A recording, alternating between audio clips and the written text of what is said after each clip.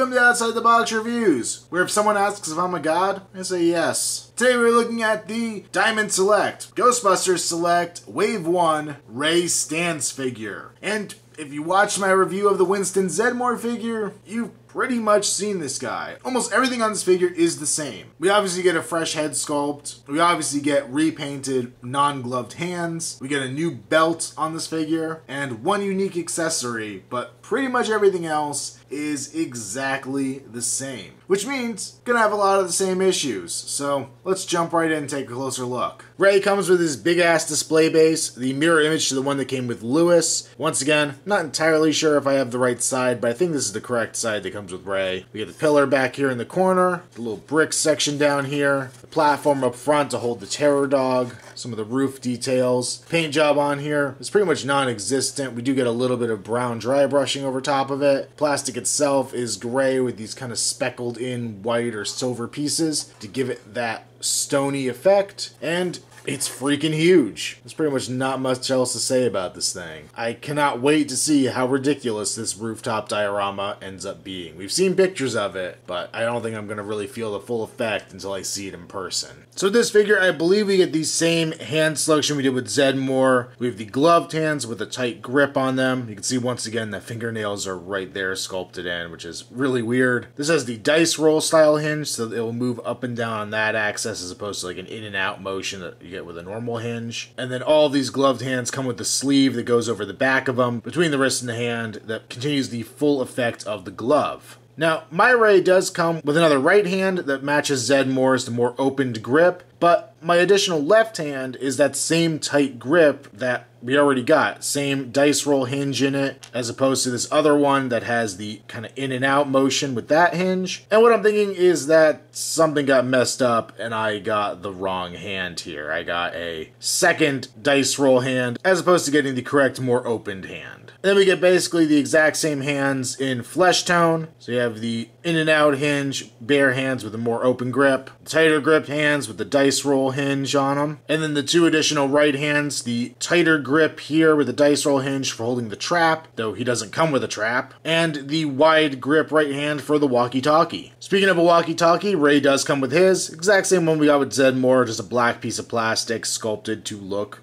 like a walkie-talkie. I think it does a decent job of doing that. And they do have the holster for it right here on his belt, so you could slide that right into place. And then Ray's unique accessory are his goggles. These are a big rubberized piece of plastic. We have the black strap going over the top there. And then a nice kind of army green color for the rest of them. We have the lenses coming out here in the front. I actually think this came out pretty good. It's not super, super detailed, but it looks enough like it does in the movie. And I really appreciate him having this to kind of give him a different look. Soft rubber enough so it's easy to put on his head. And what I find is best is to kind of get over the back of his head first and then you could either position it there above his eyes like I had at the beginning of the video, probably a little better than that. Or you can get them to go all the way down over his face. Doesn't feel like it's going to scuff anything because they are soft plastic, but then you could have them in total bug eye mode with these goggles on, which I think is really cool. And then last but not least, we get the Proton Beam. Same thing we got with Zeddemore, the orange kind of core to it, not super flexible. And this rubberized blue piece going around the outside. We get the crackling electric power shooting off of it. We do once again get the peg sticking out the back, but nowhere to put it in the gun itself. As you can see here, the end of the proton wand is just a solid piece, so probably take a drill bit to that or something and hollow it out. Though this plastic's kind of flimsy, I don't know if it's going to hold up to having that extra weight coming off the end of it. Proton wand, while we're looking at it, is nicely detailed. We have the red wire here, the silver tip, front hand grip, some more silver detail there, coming around to the back handle. I just still kind of wish they would have put, I believe there were some like red switches or buttons back here. In the movie, kind of wish I would have included those as well. We also do get the little V-shaped clip that I freaking hate now for getting it on the Proton pack. And honestly, I believe I'm gonna mod this and see what I could do with it. For a head sculpt, once again, I don't feel like they quite captured the actor likeness. This kind of looks like Dan Aykroyd from some angles, and other angles it really doesn't. I guess it's decent. Somebody commented on the Zeddemore video that it's very soft sculpting on these figures, and I have to agree. It's very kind of just squishy looking. We do have some paint slop up here in his hair, and also coming around the back of his head it gets a little messy there as well. Going on the front of the suit, I will say the silver detailing for the zippers here is better than it was on Zeddemore. Also seems to be less of the black wash effect going on here. I actually kind of miss it. Looks a little flat here in the tan of the jumpsuit. We do have his name stamped there on his chest. Well done Ghostbuster logo there on the sleeve. Once again, the elbow pads feel like they need some additional dirt and grime. They just look way too clean, but they are a soft rubber piece that sits over top of the arm itself. You can see how the gloves fit on here going over the wrist. Same straps for the Proton Pack. Still a little too bright green in my opinion. Really need to dirty these up some. But I still love this Proton Pack. I love all the different colors, all the ribbon cable, all the cool details here. Still some issues with the stickers not necessarily being where they should be here, but I love that the details are included. And overall, I think it looks pretty decent, just not perfect. And if we swing around to the side here, we can see the area where the clip would go for holding the neutrino wand, and mine's broken. Came that way out of package. So I think I'll be contacting Diamond CS with this, seeing what they can do for me to get a better version of this figure, because now I've got two problems with them. Fortunately, they did take really good care of me last time when I had an issue with a Universal Select Creature from the Black Lagoon. They sent me out another figure real nice and quick, so hopefully I have an equally good experience with them this time. We do get a slightly different belt here on Ray. On Zeddemore, we had the trap and walkie-talkie here on this tab. Here we just have the walkie-talkie. Have some of the same kind of style clips hanging down here, but they're in different locations. We have that weird circuit board thing coming around the front, and then we have the trap holster here on the back, even though we don't actually get a trap with Ray. We do have the yellow cable coming out that wraps around to the knee. This is actually a more rigid plastic they use to make this cable. I'm actually a little afraid it's going to break if you're not too careful with it. More wrinkled detail going down the legs, more seams and everything. We have the zippers on the side of the boots. It look pretty cool. Though not a whole lot of detail paint-wise throughout the rest of the boots, just kind of a solid black color. And we do get peg holes at the bottom of his feet. For articulation, Ray has a ball joint at the neck, so you can look a little bit up, a little bit down, and rotate side to side. It's funny now realizing that Louis Tully had a hinge disc in the neck, and the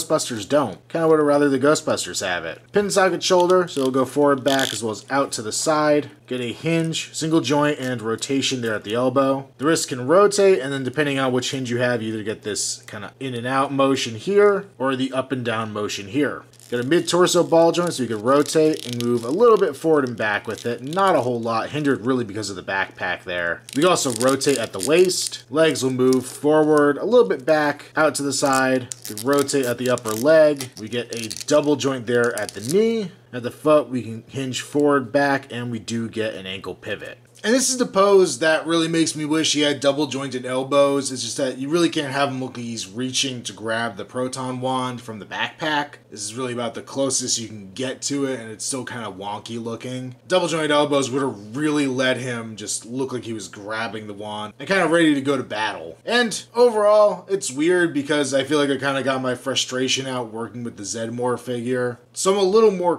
calm in doing this review, but the same flaws are still there. This figure just had some other random issues too that make him crappy. So I'll give this one the same slight not recommend Zeddemore got. A lot of potential here, but a lot of problems too. And honestly, I think this figure just feels better because not having that clip to attach the neutrino wand, I can't even try to mess with that and I can't get frustrated at it because it's not there. I'm honestly considering kind of reworking those pieces and trying to see if I could just put a little piece of metal on the wand itself and put a magnet inside the backpack and just let it magnetically attach. I think that might be worth it since I'm to have to get a new version of Ray anyway to fix these issues. If I get to keep this figure, I might just try that and try the modifications and see if it works. And if it does, we'll go from there. And despite me giving three slight not recommends in this wave, I'm still stupidly excited for the next one. The next wave is to have the other two Ghostbusters as well as Dana Barrett. So I'll have yet another version of Sigourney Weaver to throw on my shelf. And if, in some weird way, if they were to stop at that point, I'd probably be pretty happy because that's kind of the main characters of the film. But I guess what's really making me look forward to more figures in this line isn't that next wave, it's what comes after. Getting the Terror Dogs, getting Slimer, getting Gozer. Those are the things that really make me happy. And, well, we're gonna get Janine and Dickless down the line too. Those I really couldn't care less about. But I guess I'll pick them up since I'm building this diorama base anyway. And then I'll have to figure out what the hell to do with that monstrosity of a display base, cause damn. Make sure you check me out on Instagram, username Outside the Box Reviews. Also follow me on Facebook, link below. And until next time, if there's something strange on YouTube, who are you gonna call? Outside the Box Reviews.